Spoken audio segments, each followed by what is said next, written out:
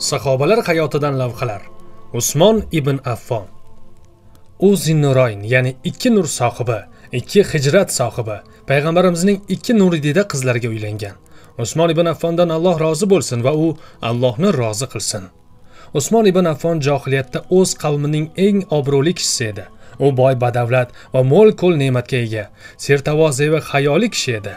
Qavmini qattiq yaxshi ko'rar va unga ishonardi. Hatto qurayshlik ayol o'zining yosh bolasini erkalab suymoqchi bo'lsa seni yaxshi ko'raman va rahmon qurayshiy usmonni yaxshi ko'rgandek deb aytardi. Islom makkani o'z nuri bilan yoritgach usmon ibn affon uning nurini birinchilardan bo'lib qabul qildi. Usmon ibn affonning islomga kirishining o'z qissasi borki buni bizga roviylar aytib beradi. Bunga sabab shuki u johiliyatdalik paytida muhammad ibn abdulloh qizini amakisining o'g'li utba ibn abu lahabga beribdi degan xabarni eshitib qoladi. U ertaroq unga og'iz solmaganiga uning yuksak xulqlari va ariq ya'ni pokiza sof xonadoni nasib etmaganiga qattiq afsuslandi. U oilasi oldiga xafa va mahzun holda keldi. Uylariga xolasi suda binti kariyizning mehmon bo'lib kelganini ko'rdi. U dona oqila va keksa ayol edi. Xolasi uning muddaosini tushundi. U but sanamlar ibodatini botil qilgan va vahidul dayyonga da'vat etadigan nabiy chiqqanini xabar berdi. Xolasi uni shu nabiyning diniga da'vat etdi va tezda uning huzurida lozim bo'lgan narsani xabar berdi. Usmon dedi xolamning aytganlarini mulohaza qilib uydan chiqib to'g'ri abu bakrning oldiga o'tdim. Xolamning menga nima deganini unga aytib berdim. U menga dedi allohga qasamki xolangning aytgani rost va yaxshilikni yetkazibdi ey usmon. Sen dono va oqil kishisan. Haq senda maxfiy qolib ketmaydi va nazningda botil bilan barobar bo'lmaydi dedi. So'ng yana dedi qavmimiz sig'inadigan bu but sanamlar nimaga yaraydi? Ular eshitmaydigan va ko'rmaydigan kar va soqov oddiy toshlar emasmi dedi va meni fikrlashga undadi. Men ha shunday deb so'zni tasdiqladim. Yana dedi ey usmon xolang aytgani haq bo'lib chiqdi. Alloh o'zining kutilgan rasulini odamlarga to'g'ri va haq din bilan yubordi. U kishi kim deb so'radim. U muhammad ibn abdulloh ibn abdul muttolib dedi. Sodiqul aminmi dedim. Ha ana shu kishi dedi abu bakr gapimni ma'qullab. Meni u zot bilan ko'rishtira olasanmi dedim. Ha albatta dedi so'zim unga ham ma'qul tushib. Biz birgalikda nabiy alayhissalomning huzurlariga bordik. U zot meni ko'rganlari zahoti ey usmon allohning da'vatchisini ijobat qil. Men sizlarga xossatan bandalarga ommatan allohning yuborgan elchisiman dedilar. Usmon dedi allohga qasamki u zotni ko'rib so'zlarini eshitib quvondim. Hatto ko'nglim yorishib risolatlarini tasdiqladim. So'ng allohdan o'zga iloh yo'q va albatta muhammad uning bandasi va rasuli deb shahodat kalimasini keltirdim. Avval boshda payg'ambarimizga amakilari abu lahabdan boshqa adovatini oshkor qilgan biron kishi yo'q edi. U bilan xotini ummu jamil qurashliklar orasida u zotga ashaddiy dushman yoqtirmas ozor va aziyat yetkazish paydo bo'lishardi. Shunda alloh taolo u bilan xotini haqida oyat karimalarni nozil qildi. Abu lahabning qo'llari qurigay halok bo'lgay aniqki u quridi halok bo'ldi. Mol mulki va kasb qilib topgan narsalari unga asqotgani yo'q. Yaqinda uning o'zi ham uning o'tin orqalagan bo'yniga pishiq toladan ichilgan arqon bo'lgan xotini ham lovullab turgan alangali do'zaxga kirajak. Masad surasi birdan beshinchi oyatlar. Bu oyat tushgandan keyin abu lahabning rasululloh alayhissalomga kek adovati battar yana alanga oldi. Bu borada xotini ummu jamil ham erdan qolishmasdi. Er xotinning rasulullohga va u zotga ergashganlarga otgani o'qi yo'q edi. U o'g'li utbani oldiga chaqirib muhammad alayhissalomning qizlari ruqayyani taloq qilishini uzil kesil shart qilib qo'yishdi. Buni qizning otasidan o'ch va qasos olish niyatda qilishdi. Usmon ibn affon roziyallohu anhu taloq xabarini eshitishi bilan xursandligidan qanot qoqib uchayozdi darhol vaqtni boy bermay rasulullohning huzurlariga qizlari ko'nglini so'rash uchun shoshildi. U niyatini aytganda so'zi ma'qul tushib nabiy alayhissalom unga o'z qizlarini nikohlab berdilar. Usmon ibn affon qurayshning tal'at jihatdan eng xushro'yi edi. Ruqayya ham xushro'ylik va go'zallikda unga o'xshab ketardi. Usmonga uzatib borilganda ruqayyaga shunday deyilgan. Er xotinning eng chiroylisini inson ko'rgandir. Bu ham bo'lsa ruqayya va uning eri usmondir. Fazilat va yaxshiliklari ko'p bo'lishiga qaramay usmon ibn affon islomni qabul qilgan vaqtda o'z qavmining aziyatlaridan quruq qolmadi. Ayniqsa amakisi hakamga bani abdushamslik yigitning quraysh dinidan yuz o'girishi og'ir botdi. Buni o'ziga og'ir oldi. Buni eshitgan zahoti o'z tobelari bilan uni borib yo'ldan qaytarmoqchi bo'ldi. Usmon ibn affonni tutib olib bog'lab qo'yishdi. Amakisi uning oldiga kelib dangal gapni aytdi. Ota bobolaring dinidan yuz o'girib muhammadning diniga kirganing nimasi? Allohga qasamki sen bu diningdan voz kechmaguningcha tinch qo'ymayman. Usmon amakisi dangal gapni aytganiga munosib javob berdi. Allohga qasamki men ham kirgan bu dinimdan aslo chiqmayman. Hayotim va jonim boricha nabiyimdan aslo ayrilmayman. Amakisi hakam uni qo'rqitib jazolashda davom etdi. Usmon ham dinida qattiq turish va sof aqidani mahkam ushlashdan chekinmadi. Hatto amakisining hafsalasi pir bo'lib qo'lini yuvib qo'ltig'iga urdi. Hech qanday chora tadbir uni bu yo'ldan qaytara olmasligini nihoyat tushunib yetdi. Bilganingni qil degandek uni o'z holiga qo'ydi. Lekin qurayshliklar unga adovatini zarracha susaytirmadi. Ozor berishda davom etishdi. Hatto begona yurtga ketishga va nabiy alayhissalomdan uzoqlashishga majbur bo'ldi. Usmon bilan xotini ham habashistonga dastlab hijrat qilganlar qatorida yo'l olishdi. Jo'nash paytlarida yaqinlashganda rasululloh alayhissalom ikkovlari bilan xayrlasha turib dedilar. Alloh usmon bilan xotini ruqayaga yo'ldosh bo'lsin. Alloh usmon bilan xotini ruqayaga yo'ldosh bo'lsin. Allohning nabiysi lut alayhissalomdan keyin usmon o'z ahli bilan hijrat qilgan kishilarning birinchisi bo'ldi. Usmon xotini bilan habashistonga ko'p uzoq turmadi. Boshqa muhojirlar yurtlarini sog'inib qaytganidek rasulullohga bo'lgan shavq va makkaning sog'inchi kuchayib er xotinni ham yurtlariga qaytishga undadi. Alloh taolo o'z nabiysiga va mo'minlarga madinaga hijrat qilishga ruxsat berganidan keyin ko'p o'tmay madinaga jo'nab ketdi. Usmon roziyallohu anhu rasululloh alayhissalom bilan hamma g'azot va yurishlarda ishtirok etdi. Faqat birgina badr g'azotida qatnasha olmadi. Xotini ruqayyaning kasal bo'lib yotib qolishi bu jangga chiqishiga imkon bermadi. Rasululloh alayhissalom badrdan qaytib kelgach qizi ruqayyaning qazo qilganini ko'rib qattiq qayg'urdilar. Kuyovlari usmonga hamdardlik izhor qildilar va uni badr ahlidan deb hisobladilar. Badrdan tushgan o'ljadan usmon roziyallohu anhuga ham ulush ajratdilar. Ustiga ustak unga ikkinchi qizlari ummu gulsumni nikohlab berdilar. Odamlar shuni deb usmon ibn affonni zinnuroyin deb aytadigan bo'lishdi. Uning nabiy alayhissalomning ikkinchi qizlariga uylanishi boshqa biron er kishida topilmaydigan manoqib fazilat bo'lib qoldi.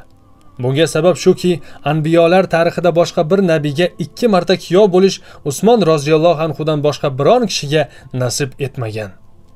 Usmon roziyallohu anhuning islomga kirishi alloh taoloning musulmonlarga bergan ulug' ne'matlaridan va islomni quvvatlagan xayrli ishlardan biri bo'ldi. Musulmonlarga biron zarar yo ziyon yetganini ko'rib qolsa birinchi bo'lib usmon yordamga kelardi va bu zararni ularning boshidan daf etardi. Islomga biron musibat yetsa ham ibn affon uni ketkazuvchilar boshida bo'lardi. Rasululloh alayhissalom tabuk g'azotiga qaror qilganlarida molga bo'lgan hojat odamlarga bo'lgan hojatdan kam emasligi bilinib qoldi. Rum qo'shinining soni ko'p qurol aslahalari yetarli edi. Yana ular o'z yerda jang qilardilar. Ammo musulmonlar uzoq yo'l bosishga to'g'ri kelar oziqalari kam ot ulovlar yetishmas edi. Yana ular ekin tekin va suv yo'qligidan qiynalib qolishgan edi. Arab jazirasida bunga o'xshash holat kamdan kam uchrardi. Rasululloh alayhissalom odamlardan ko'pini bu jangga olmay uylariga qaytarib yuborishga majbur bo'ldilar va ularni bu jang savobini olishdan mahrum qildilar. Chunki ularning uzoq yo'l yuriladigan safarda minadigan ulovlari yo'q edi. Ular ko'zlarida yosh to'lgan holda izlariga qaytib ketishdi. Ana shu vaqtda rasululloh alayhissalom minbarga ko'tarilib alloh taologa hamdu sano aytdilar. Musulmonlarni bu jangga kerakli mol berishga targ'ib qilib katta ajr savobi yetishidan umidlantira boshladilar. Usmon ibn affon darhol o'rnidan turib men yuzta tuya egar jabdug' va ustidagi yuklari bilan berishni zimmamga olaman yo rasululloh dedi. Nabiy alayhissalom minbardan bir pog'ona tushdilar. Yana odamlarni mol berishga targ'ib qilishda davom etdilar. Usmon roziyallohu anhu ikkinchi marta o'rnidan turib yo rasululloh yana yuzta tuyani egar jabduq va ustidagi yuklari bilan berishni zimmamga olaman dedi. Rasul akramning muborak yuzlari xursandlikdan yorishib minbardan yana bir pog'ona pastga tushdilar. U zot yana boshqa odamlarni mol berishga targ'ib etishda davom etdilar. Usmon roziyallohu anhu uchinchi marta o'rnidan turib yana yuzta tuyani egar jabdug' va ustidagi yuklari bilan berishni zimmamga olaman dedi. Ana shu vaqtda rasululloh muborak qo'llari bilan usmon ibn affonning bu ishdan rozi ekanliklari ishora qilib bugundan keyin qilgan ishi usmonga zarar qilmaydi. Bugundan keyin qilgan ishi usmonga zarar qilmaydi dedilar. Rasululloh alayhissalom hali minbardan tushib ulgurmasdan usmon ibn affon uyga borib u zotga tuyalar bilan ming dinor oltin yubordilar va dinorlarni u zotning oldilariga to'kilganda muborak qo'llari bilan oldi orqasiga aylantira turib dedilar alloh sening pinhon va oshkora qilgan gunohlaringni mag'firat qilsin ey usmon dedilar. Hazrati umarning xalifalik paytida bir yil ocharchilik bo'lib ekin va chorvalar nobud bo'ldi. O'sha yilni qattiq qahatchilik bo'lgani uchun rimot ya'ni kul yili deb ataldi. Odamlar qiynalib qolishda jon bo'g'izlariga qadaldi. Bir kun ertalab ular ey allohning xalifasi osmondan bir tomchi yomg'ir tushmayapti. Yerdan giyoh unib chiqmayapti. Odamlar halok bo'layozdi nima qilamiz? deb umarul foruqning oldiga maslahat so'rab kelishadi. Shunda umarul foruq ularga tashvishli nazar bilan qarab allohning roziligini so'ragan holda sabr qilinglar. Hali kechga bormay turib alloh sizlarni qutlantiradi dedi. Kun oxirlab qolganda usmon ibn affonning savdo karvoni ertaga shomdan yetib keladi degan xabar tarqaldi.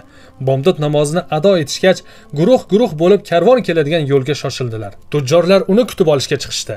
Qarashsaki bug'doy zaytun yog'i va mayiz ortilgan mingta tuya birin ketin kirib kelyapti. Tuyalar usmon ibn affon eshigi oldida cho'kdi va xizmatkor yigitlar yuklarni tushira boshladilar. Tujjorlar darhol usmonga uchrab ey abu amir mollaringni bizga sotgin deb taklif qilishdi. Mayli sotaman savdodan menga qancha foyda berasizlar? Bir dirhamga ikki dirham beramiz deyishdi. Usmon bundan ko'prog'ini menga va'da qilingan dedi. Ular yana qo'shishdi. Sizlar oladigan narxdan ko'prog'ini berishmoqchi dedi yana. Ular yana qo'shishdi. Bundan ham ko'prog'ini berilmoqchi dedi yana u. Ular narxni ko'tarishdan to'xtab ey abu amir madinada bizlardan boshqa tujjorlar yo'q. Oldingizga bizdan oldin biron kishi keldimi? Biz beradigan narxdan ko'prog'ini beradigan kim bor deb hayron bo'lib so'rashdi. Alloh menga har bir dirhamga o'n dirham beradi. Sizlar shundan ko'prog'ini bera olasizlarmi? Yo'q ey abu amir bera olmaymiz deyishdi. Maqsadni tushuntirib usmon roziyallohu anhu allohni shohid qilib aytamanki bu tuyalar ko'tarib kelgan bor molni muhtoj musulmonlarga sadaqa qildim. Uning biron dirhamiga dirham va na dinor olmayman. Allohning roziligi va savobini xohlayman dedi. Usmon roziyallohu anhu xalifalik paytida armaniston va qafqozni fath etildi.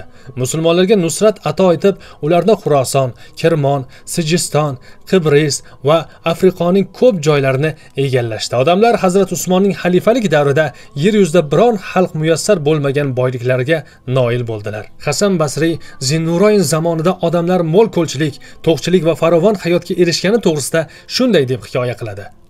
Usmon ibn affon roziyallohu anhuning jarchisi ey odamlar sizlarga beriladigan narsaga kelinglar deb jar solayotganini ko'rdim. Odamlar kelishib undan o'zlariga kifoyasini olib ketdilar. Jarchi ey odamlar kelinglar rizq nasibangizga dedi.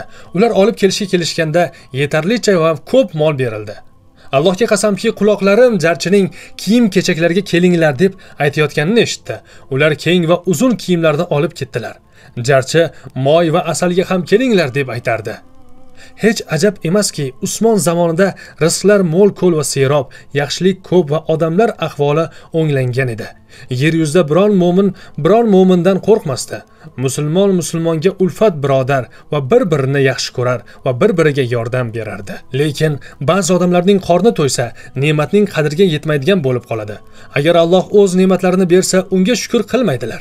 Ana shunaqalar xalifa usmonni bir qancha ishlarini deb itob qildilar. Agar undan boshqasi shu ishlarni qilganda balki shuni deb itob qilishmasdi. Ana shunaqalar faqat itob bilan kifoyalanib qolmadilar. Agar ular shu bilan kifoyalanib qolganlarida ish juda oson hal bo'lardi. Shayton ularning ruhlariga puflab yo'ldan ozdirdi. Turli qabilalardan kelgan guruhlarning katta toifasi to'planib xalifa usmonni o'z uyida qirq kecha kunduzga yaqin qamal qildilar. Hatto ichadigan suvini bermadilar. Ana shu zulmkor nonko'rlar bir vaqtlar ichadigan suvlari yo'q paytda rum qudug'ini o'z puliga sotib olib madinai munavvara aholisini bemalol ichishlari uchun tekinga berib qo'ygan kishi kimligini unutib qo'ydi. Ular usmon roziyallohu anhuni nabaviy masjidda namoz o'qishga chiqazmadilar. Haramiyni ikkinchi marta musulmonlarga tor bo'lib qolgandan keyin kengaytirish uchun o'z puliga kengaytirgan kishi usmon ibn affon ekanidan ko'z yumdilar. Hazrati usmonga qarshi aziyat kuchaygach va yomonlik tarqagach uni himoya qilishga 700 sahoba o'g'illari bilan bosh ko'tarib chiqdilar. Ular orasida abdulloh ibn umar ibn hattob abdulloh ibn zubayr ibn avvom ali ibn abu tolibning ikki o'g'li hasan va husayn abu hurayra va ulardan boshqalar bor edi. Lekin zinnuroyn ikki hijrat sohibi va yaxshilik tarqatuvchi xalifa usmon o'zini himoya qilish evaziga musulmonlar qoni to'kilishidan ko'ra o'zining qoni to'kilishini afzal ko'rdi. O'z huzurida musulmonlar qatl etilishidan ko'ra o'zining o'limini ma'qul bildi. O'zini himoya qilib kelganlarga allohning qazosi uchun qasam ichib meni deb kelgan kishi qo'lini tiyishi haq deb qasam ichaman dedi. Yana u qullarga qarata sizlardan qaysi biringiz qilichini qiniga solib ortiqcha harakat qilmasa bugundan boshlab ozoddir dedi. Usmon ibn affon o'limi arafasida bir necha lahza yengil uyquga ketganda nabiy alayhissalomni tush ko'rdi. U zot bilan abu bakr siddiq va umar ibn xattobni ham tushida ko'rdi. Rasululloh alayhissalomning o'ziga shunday deb aytayotganlarini eshitdi. Kechasi bizning oldimizda og'iz och dedilar. Usmon roziyallohu anhu shundan robbi huzuriga rihlat qilishiga ishondi. Usmon roziyallohu anhu ro'za tutgan holda tong ottirdi. O'ziga uzun shalvarni so'rab qon to'kuvchi osiylar qatl qilgan vaqtda avrati ochilib qolishidan qo'rqqani uchun kiyib oldi. 18 kuni juma kunida obid zohidlar zohida ko'p ro'za tutuvchi va ko'p namoz o'quvchi qur'oni karimni jamlovchi rasulullohning kuyovlari va xalifasini qatl etildi. U ro'zador holda qo'lida allohning qur'oni ochiq holatda turganda robbi huzuriga yo'l oldi. Usmon roziyallohu anhuning qatl etilishida biron sahobiy va na bir sahobaning o'g'li qatnashmagani musulmonlarga taskin va tasalli uchun kifoya etadi. Faqat bu qatlning boshida bir kishi isyonkor fitnachilarga qo'shilgan bo'lsa ham hijolat bo'lib qilmishidan qaytdi. Alloh taolo usmon roziyallohu anhudan rozi bo'lsin.